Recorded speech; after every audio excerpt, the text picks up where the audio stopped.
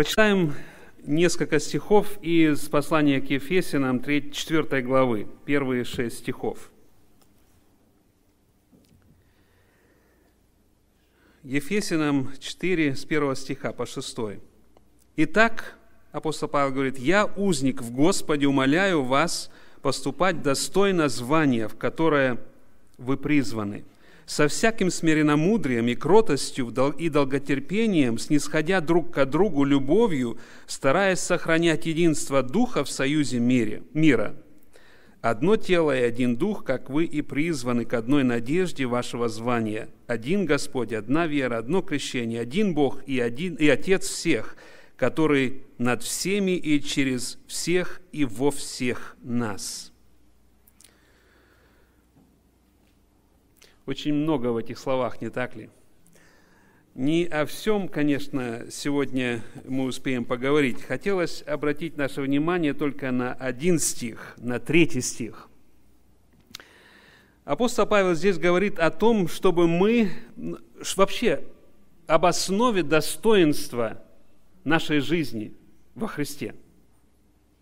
И вот в третьем стихе он говорит, стараясь сохранять единство Духа в союзе мира. И вот об, этом единстве Духа я сегодня хотел вкратце поговорить с вами.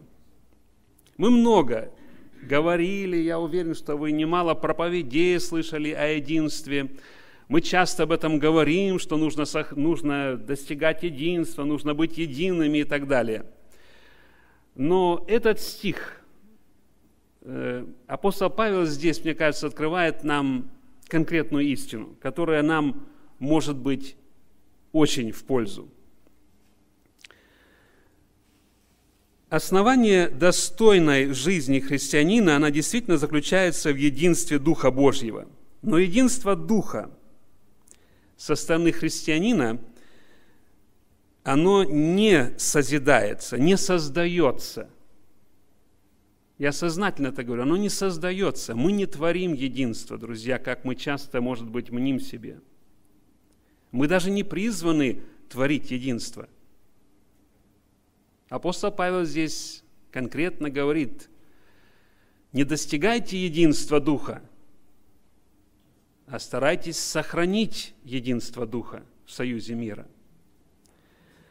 Старательно, мы призваны старательно сохранять это единство Духа. Единство Духа не является плодом наших стараний, друзья. Как бы парадоксально это ни звучало. Единство Духа Божия не является плодом, плодом наших стараний. Оно является источником союза мира. Я хочу эту мысль повторить, что единство Духа Божия – это источник союза мира, а не плод наших стараний.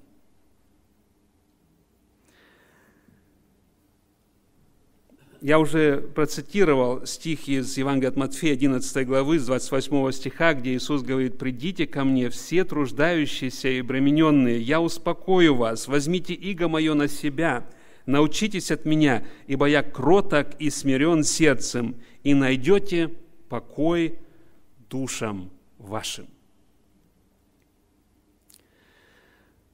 Друзья, наша цель действительно войти и пребывать в покое нашего Господа.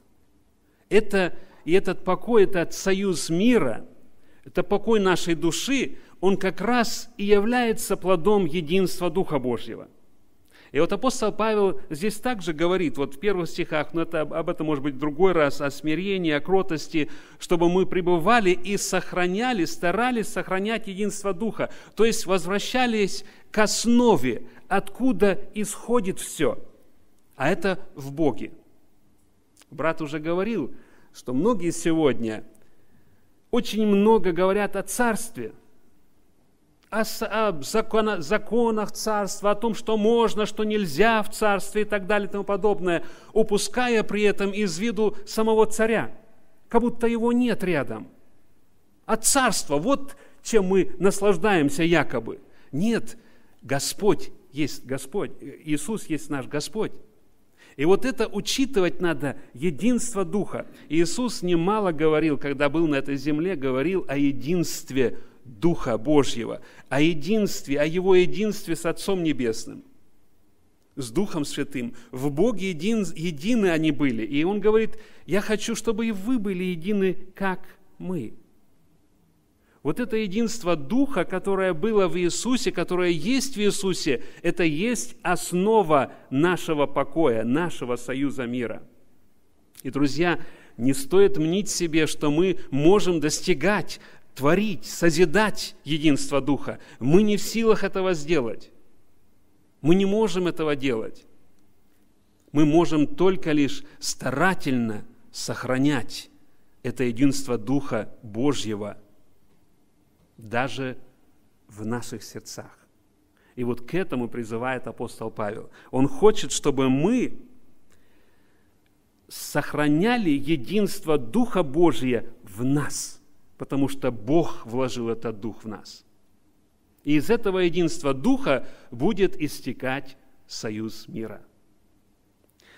Я хотел как бы ответить кратко еще на, на один вопрос – как человек, как христианин может, или как вообще человек может найти, познать и сохранять это единство Духа Божьего? И на этот вопрос я, у меня пять ответов, как бы пять пунктов. И вот эти пять пунктов я хотел бы перечислить. Просто когда я об этом рассуждал, э, и мне кажется, вы согласитесь со мной, что именно вот этот вот, это, вот эти шаги, они содействуют к старательному сохранению единства Духа в нас. Первое, через обращение или покаяние от зла к единству Духа Божьего. То есть мы должны обращаться от зла к единству Духа, к Господу.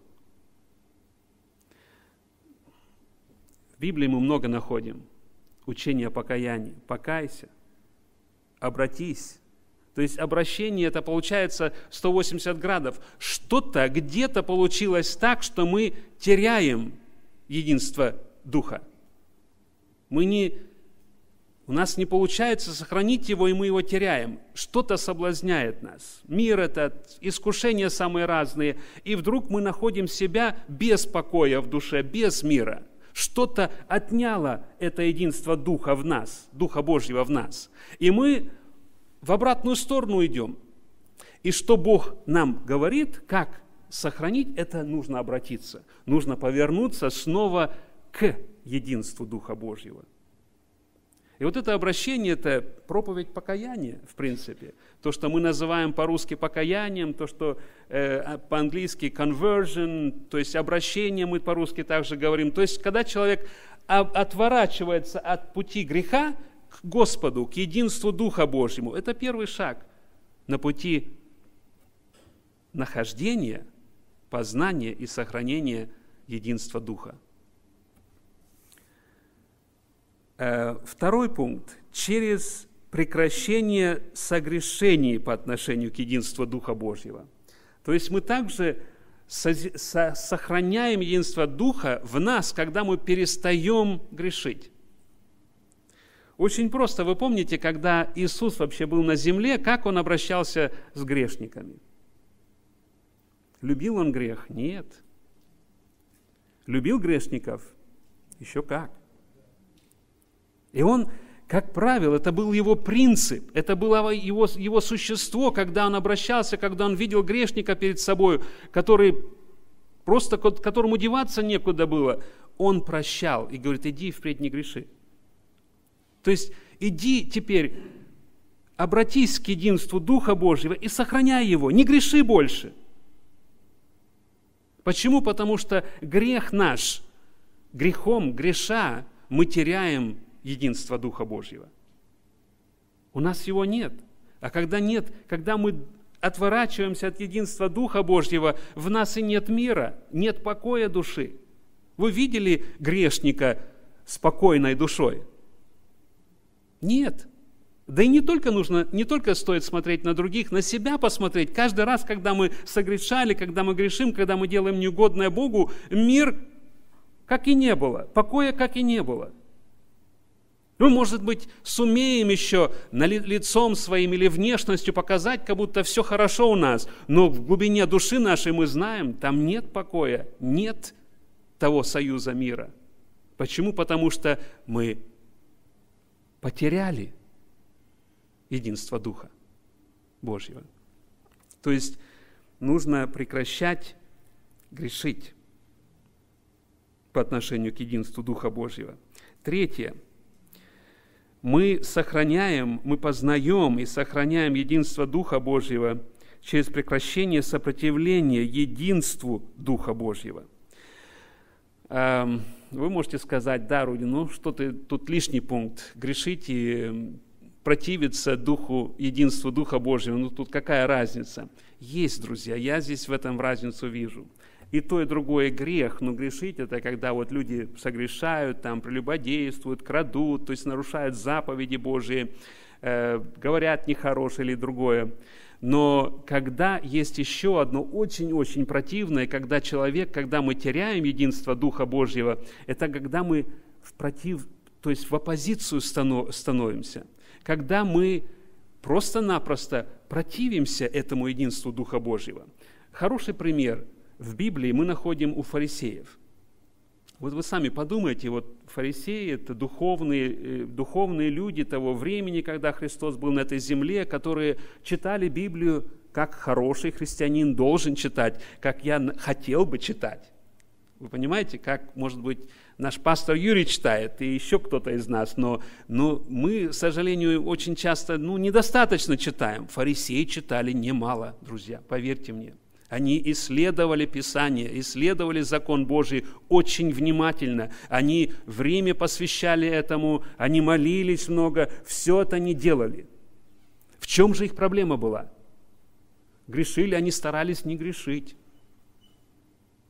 Они действительно очень много внимания уделяли тому, чтобы не грешить, чтобы не прелюбодействовать, чтобы не красть, чтобы не, э, неправду не говорить и так далее. На все это они обращали очень много внимания. В чем была их проблема? Они стали в оппозицию единства Духа Божьего. Вот единый Бог явился на землю, Христос, Мессия. Они в противоположность. Они в оппозиции стоят. Они не принимают они отворачиваются, противятся этому единству Духа Божьего. Хорошо-то фарисеев, хорошо над ними можно поговорить, а мы, друзья, как христиане, может быть, тоже иногда встаем в оппозицию этому единству Духа Божьего. И над этим стоит задумываться, чтобы не быть в противостоянии Духу Божьему. И легче всего это анализировать в себе а относительно нашего отношения ко Христу, потому что во Христе Бог явил себя нам. Во Христе мы понимаем Бога. И вот наше отношение ко Христу не, не в первую очередь к Его Царству, а ко Христу, к Царю, к Господу. Это основа.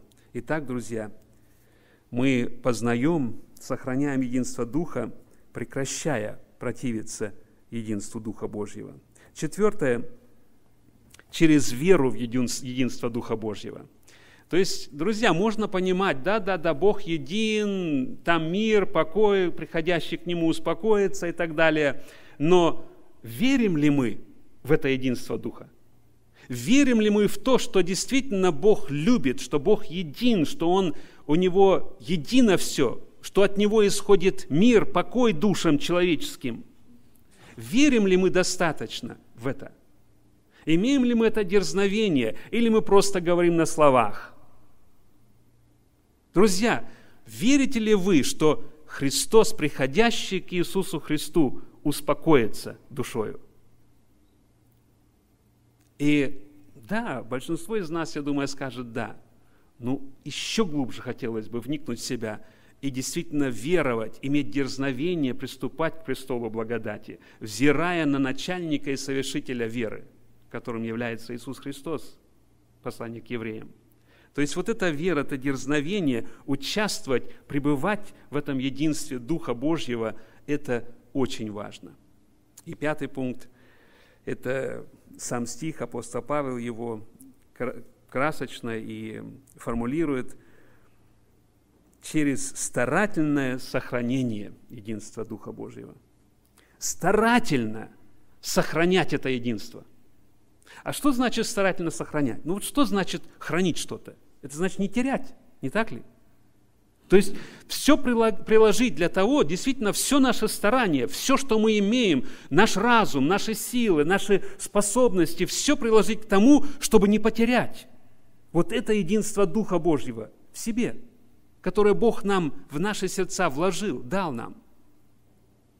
Вот этого апостол Павел здесь увещевает. Старательно мы себя не спасаем, друзья.